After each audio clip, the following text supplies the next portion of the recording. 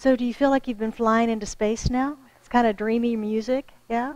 Well, we are continuing with our Fun Summer series today, which our series is uh, May the Force Be With You. And we're basing that on the Star Wars epics. You know, there's nine of those movies? Nine of those movies. And they were done in um, series of three, the three trilogies that they had, with the first one starting in 1977, 42 years ago. So 77 to 83 were the, I know, right? There's 77 to 83 were the first three. The original Star Wars, A New Hope, The Empire Strikes Back, and The Return of the Jedi. And we, of course, it touched on all three of those already this month. And then they went to the prequel, the one the stories before those stories happened where we got to meet some or get to meet some of the characters in their early early youth and uh, the phantom menace came out in 1999 the attack of the clones and revenge of the sith and now they're completing the sequel trilogy the sequel at the end and um, that's the force awakens that came out in 2015 the last jedi and the next one is next december 2019, so something else to look forward to. One more Star Wars movie. Right? Yeah. Again, 42 years is just amazing for that to be in our culture and our consciousness. So um, today we're going to be looking at one of these. We're going to look at the first one, and it's called the very first um, in the storyline, if you will, which is called The Phantom Menace. And um, my talk is releasing your Phantom Menace. So we'll discover what that is. But let's see how this starts out. We've run the crawler for each one of these every week. This is the crawler for the original movie that sort of sets the tone for what's going to happen. So that's what's happening. Any of that sound familiar? yeah, right? Kind of spooky. I know, kind of spooky. Turmoil, dispute, deadly battleships, greed, debate and the good guys, the Jedi Knights, coming to the rescue. So lots of political turmoil, and it's certainly a familiar storyline for us that we see in this, this uh, movie. And when I looked at it, and it's like, well, what is it really about? What are they really trying to tell us in this movie? What's the real theme of it? Because it's a very long movie. It's like two and a half hours long. So it's a very, very long movie. And you probably recall that character that they first came out with when they were promoting that called Darth Maul. He was a Sith Lord, and he looks like everybody's nightmare of the devil, doesn't he? Yeah, he was just really, he was red and he was black and he had horns and all sorts of stuff. So he was really a scary character, and that's how they were promoting the movie. But in fact, he's not the bad, bad guy, is he? He's not the real phantom menace in this show. The menace is really referring to Senator Palpatine, whose involvement is that he is a dual character in this. He is the senator on this little tiny planet because you kind of wonder why would they start with a little tiny planet to blockade it? It doesn't really have any resources or anything.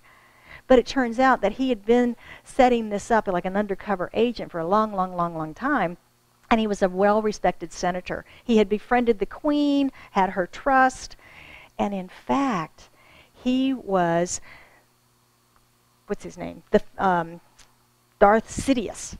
Darth Sidious was his name. And you probably remember him later on as the emperor, the guy in the shroud. He was the, the master of Darth Vader, of the dark side. Remember? So this is the first in the whole series of events, and this guy was there at this point. And one of the things they reveal in this movie is that the dark side, the Sith, had been extinct for centuries and were just beginning to come back as this movie began. So the film, like all the Star Wars movies, of course, has lots of great action, exciting battle scenes, great spiritual wisdom of those Jedi that are woven in throughout it. But the, the idea of phantom, we've all had ghost stories, right? And phantoms, and it's kind of scary, and they had that real scary character in there. But what I really begin to look at and understand in this movie is that it is boiling down to our ability to triumph over our own fears.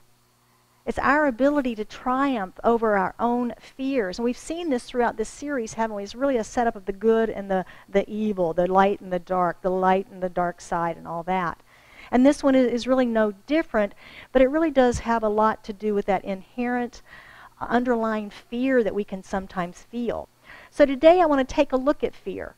I want us to take a look at what fear is and discover maybe some of our own phantom menace that we may have within us and how we can maybe release some of that. How we can maybe release some of that. Ernest Holmes, the founder of Centers for Spiritual Living and the author of the text that we teach from called The Science of Mind, he tells us that fear blocks the more complete givingness of the Spirit to its highest form of manifestation on this planet, which is humankind. He says fear arises from that mental attitude which limits the possibility and the willingness of spirit to give us the good we so greatly desire. There's nothing wrong in the desire for self expression. God is more completely expressed through the person who lives largely than through the one who lives meagerly more expressed to the one who lives largely than the one who lives meagerly. And we're here to express the magnificence of God individualized within each of us, aren't we? Because only you as an individual can express spirit as you can express spirit. No one else can express like I do or like any of us do. We're all individuals. So we, we have to show up in our own magnificence to do that. Now, we see a great example of this in the show with the young Anakin Skywalker. Anakin. I keep saying Anakin. Anakin Skywalker. But in the show, he's only nine years old. He's a little kid. He's a little kid. And I'm going to give you a spoiler alert in case you haven't seen it.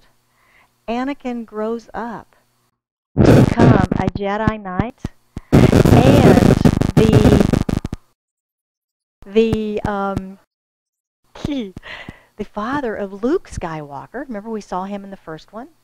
And Princess Leia. And he goes to the dark side. And he becomes Darth Vader.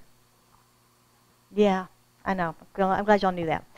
So, um, in the show, he's working as a slave child, though, in this first movie. He's a little kid. He and his mother have been enslaved on the planet of Tatooine. And he is there and he's going to help rescue, actually, Obi Wan Kenobi, who is about 20 years old. And he's just getting trained as a Jedi Knight. Remember, he was the senior knight in the, um, the previous movie that we talked about. And he's also with his mentor, then, Jedi Knight, Qui-Gon Jinn which is played wonderfully by Liam Neeson, by the way. And the great thing about the character of Anakin in this is that even as a nine year old kid who is enslaved, he knows exactly what he wants. He is absolutely confident and extremely brave in sticking with his dream, his desire. He knows beyond the shadow of a doubt that he not only wants to be, but will be a pilot. That's all he wants is to be a pilot. So much so that he has built what is called a pod racer because he wants to learn to fly and he's sort of teaching himself to do that. Nine years old, okay? Nine years old. And a pod racer is like a hovercraft kind of thing that has a couple of engines and flies really, really fast. And so he's been building this thing, trying to, to race in the races and stuff. He's also built a droid that he calls C3PO. And uh, he built this to help his mom. So he's a nice guy too, right? Built it to help his mom around the house. So he does end up being able to race in the race. He wins the race, and um, he is able to secure his freedom through that. We'll talk about that a little bit more. But he is living largely, nine years old, a slave, living largely, living his dreams, working on his dreams every time he's not working in the parts store in town. He's working on his pod, his pod racer. He's working on his dreams. He didn't allow his current circumstances to limit his future possibilities. He didn't allow his current circumstances to limit his future possibilities. So my question for us today is do we have the dedication to stick to our dreams? Do we have that burning desire within ourselves to stay with our dreams, our desires, and our goals? To allow Spirit to be more completely expressed through us, because that's where the desires come from, right? They come from spirit. All creation comes through spirit, from spirit through us. And that's what makes us want to do things. But then this thing called fear goes, whoa, I can't do that. Couldn't possibly open a spiritual center. Y'all know that journey, right? It was a it was a faith walk. It was a well, fear and faith walk. Yeah. Yeah. But it can be so easy to allow that fear to control us, can it? So easy. But sometimes we don't call it fear, do we? Sometimes it shows up as procrastination. Sometimes it shows up as distraction. I'm too busy. Or I don't have enough money. Or education, or whatever the I don't have enough is in that bucket, right? That I don't have enough of. Or I, I, I, I, I can't work on that today. That's something I'll work on later. Something I'll work on later. We can be very good at making excuses in our life for playing small.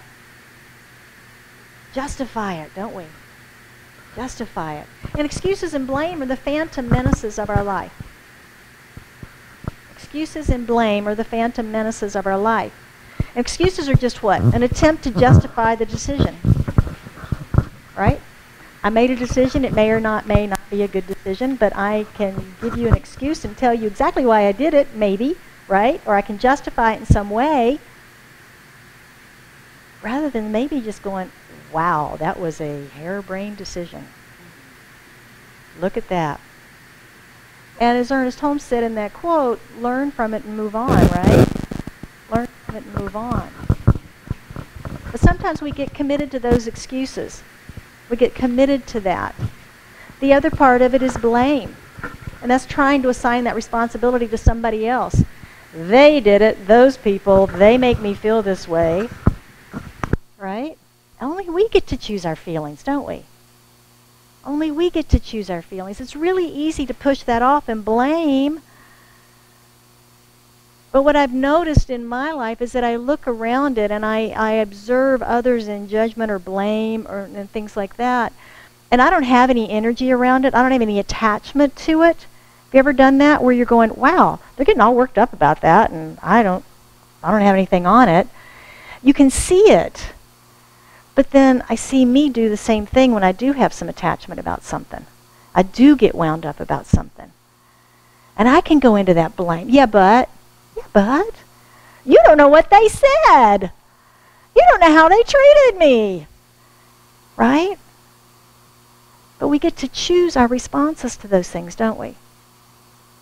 And if we don't be mindful, as our Jedi friends say, if we're not mindful of those types of thoughts, those thoughts can then begin to run us.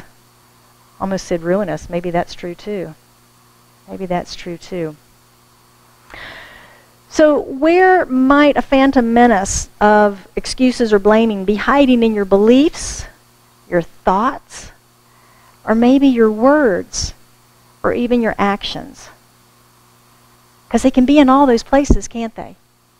Can be in all those places. It can be in the words that we say, it can be in the actions that we take. Ernest Holmes, in Living the Science of Mind, another book that he wrote that we use here frequently, says there is still another fear which is at least as great as the fear of death, and that is the fear of life. Have you ever heard that? The fear of success is as strong as the fear of failure? Yeah. We sabotage, don't we? We've talked about that before. He says the fear of people, the fear which comes from is and the fears that come from sensitiveness. In many ways, this is the worst fear we have. I don't know if there's any way of weighing and measuring it against other fears, but I cannot help thinking there is no fear greater than the fear of life itself. Yeah. And I think this is sometimes where we can maybe get a little entangled in our teaching get a little entangled in the science of mind because we all have hopes and dreams and goals and desires that we're always working on in our life, don't we? We're always working on something. Want a little more of this or a little less of that. Just continue to balance out our life experience. It's kind of the natural way, isn't it? As we grow and evolve. Oh, that served me, but it doesn't anymore. So I need to let some of that go. Or this, I, I'd really like to experience more of that. And that's just the dance of life that we do in continuing to try and balance this experience to our greatest joy, to our greatest joy.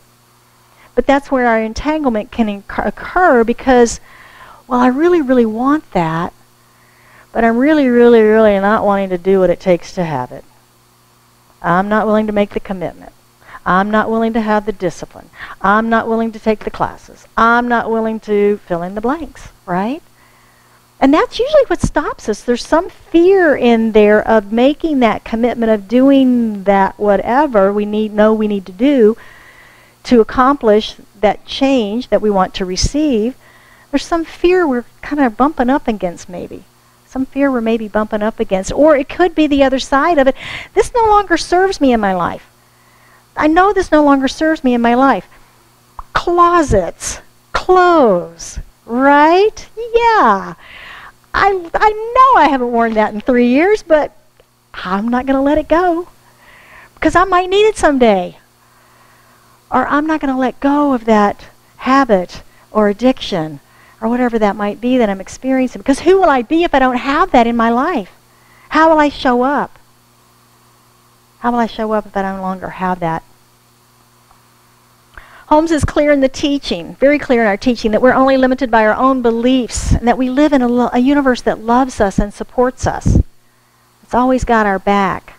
And that goodness is the foundation of life. Goodness is the foundation of life.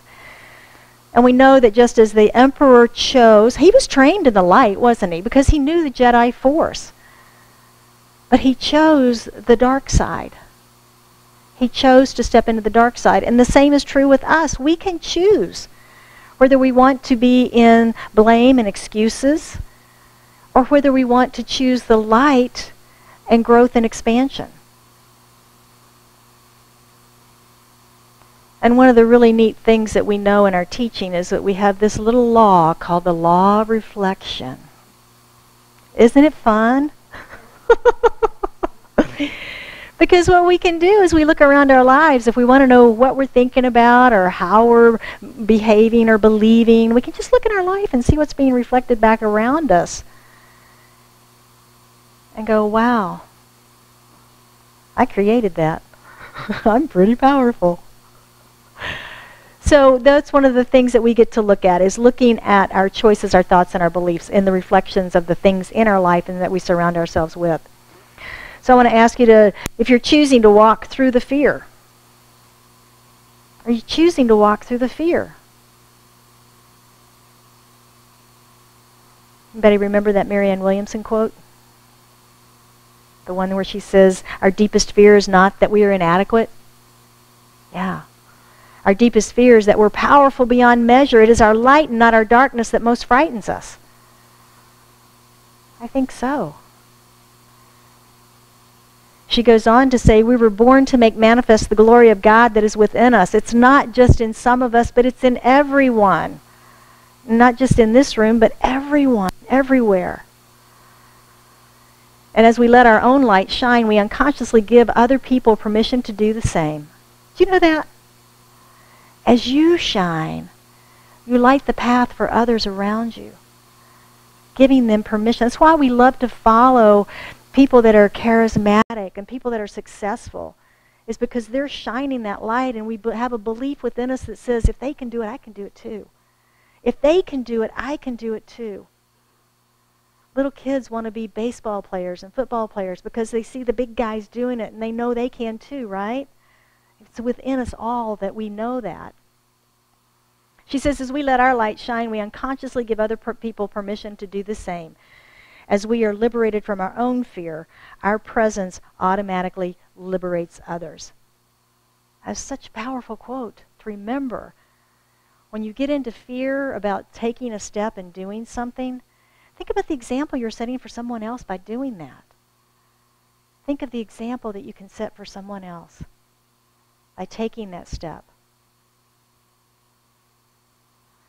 And we see it demonstrated in the film so beautifully when Anakin is asked to step through his fear.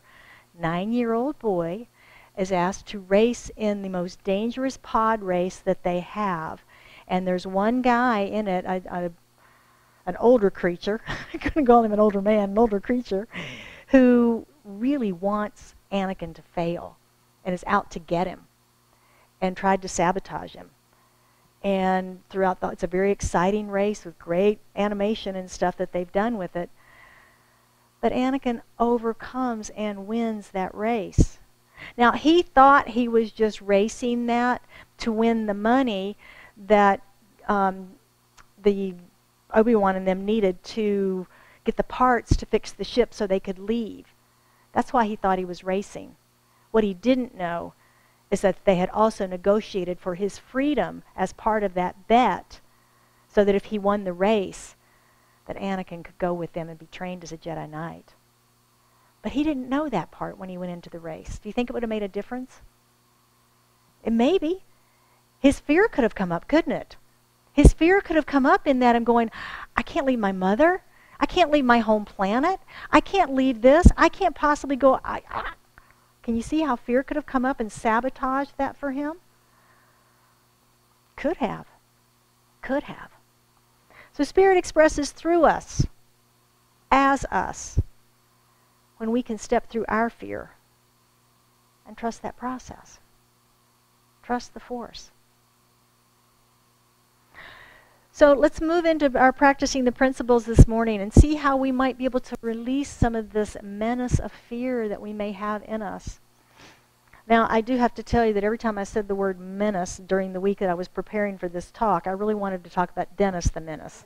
It just seemed like, but it just didn't fit in the Star Wars talk, so we'll have to find something on Dennis later on. Our first principle this morning is um, Qui-Gon Jinn said to Obi-Wan Kenobi. Now remember, Obi-Wan is the youth and Qui-Gon is the master Jedi. He says, be mindful of the future, but not at the expense of the moment. Sound familiar? Yeah.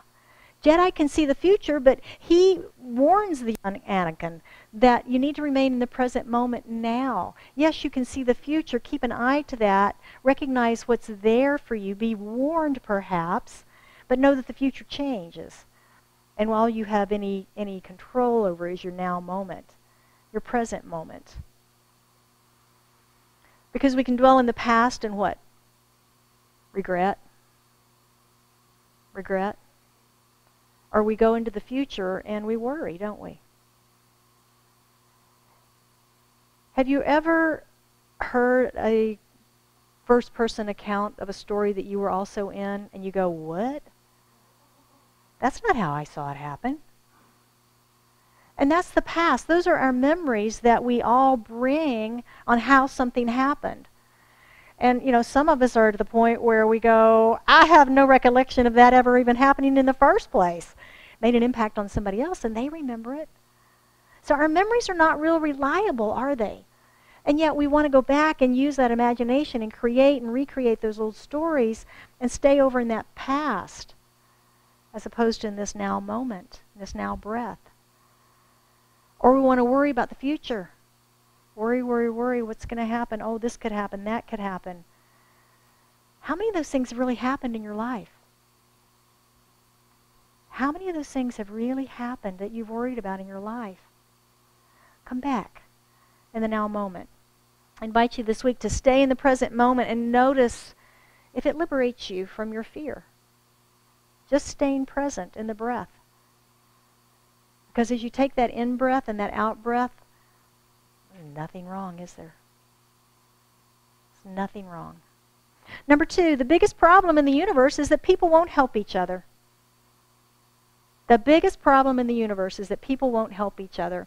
This was Anakin quoting back to his mother after he brought four strangers back to their house for dinner. She's like, What are you doing?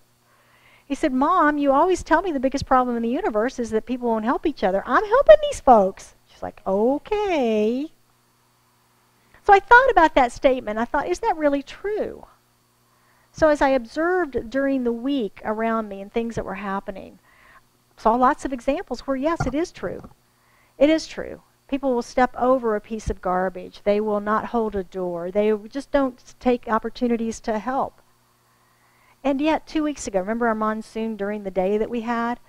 I was driving home. Streets were flooding. People were stopping in their cars, getting out in the rain and the flooded streets to move debris out of the roadways. Not, not first responders, not the police or the fire. These were just people like you and me. And I thought, yeah, they're still good people. They're still helpful, selfless people out there. So I don't think that that is a 100% pure state, true statement. So our practice this week is to notice the opportunities for you to help another. To notice opportunities as you walk through your day. To make that extra little step, that little extra effort to help someone or the environment or the planet. Number three, Master Yoda. He was in this one also. And uh, he says to young Anakin, they're doing, interviewing him to see if he qualifies for Jedi training. And he's talking to him about, because um, we can see your thoughts. Are, are you afraid? And he says, I think you're afraid of losing your mother. And he goes, Well, of course I am. I'm a nine year old boy. Of course I am. And he responds, Fear is the path to the dark side. Fear leads to anger, anger leads to hate, and hate leads to suffering. Would you agree? Yeah, we can see that path, can't we? We can see that path. It sounds very Buddhist, particularly in the way he talks. It sounds very Buddhist. But it also sounds true for us. It also sounds true for us. And I think I've shared with you before my tool for overcoming anger in particular if I'm in a situation where I'm feeling anger come up, I step back and go, what am I afraid of in this moment? Because I know that before the anger, the fear has to be there. So I have to ask myself and go back behind that anger, diffuse the anger to ask, what am I afraid of? Am I feeling, not being, right? I'm not being, but am I feeling like I'm being attacked? Am I feeling like I'm being discounted, discarded? something else? What is the fear that I'm feeling in that moment?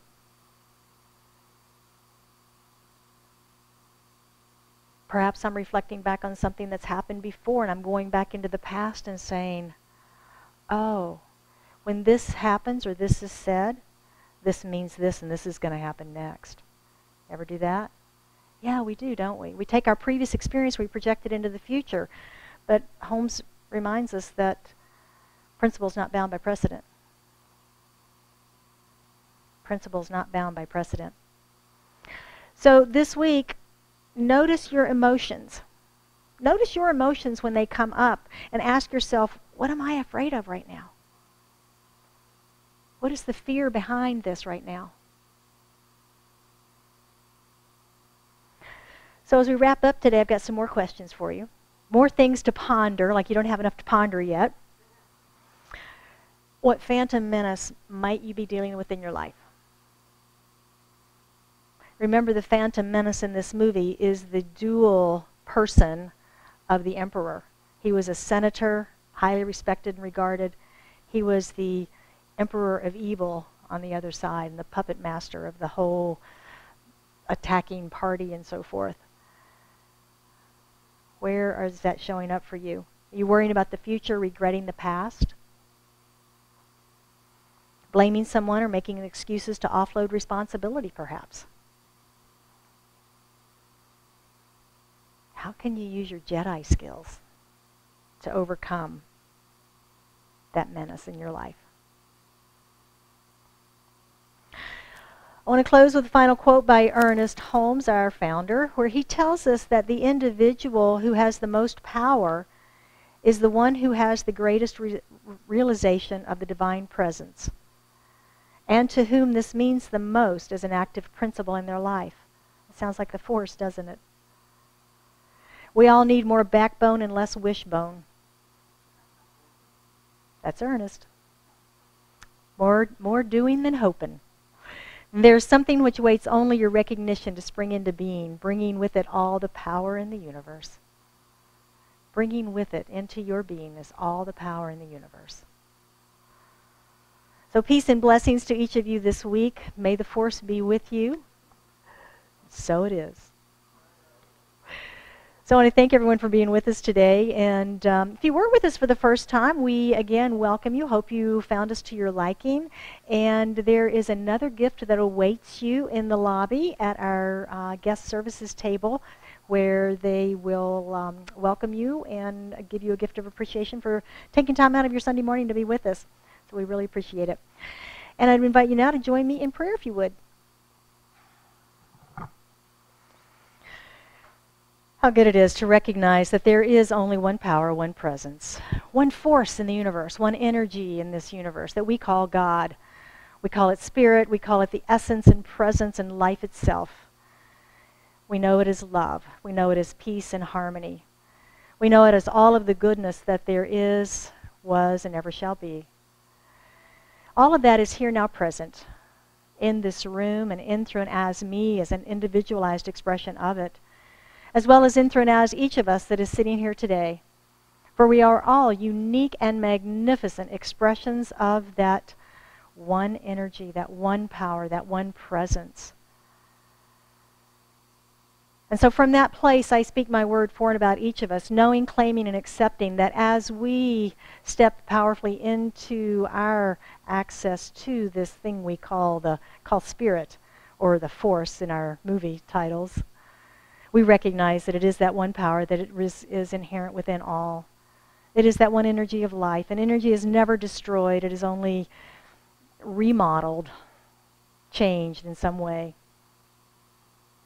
I know for anyone that has anything on their heart today that they are seeking prayer around, prayer support, prayer of joy, whatever that might be, that as they lift that into their consciousness, into their heart in this moment, we bless it, knowing that it is healed, revealed, clarity, whatever the need might be, it is fulfilled in this moment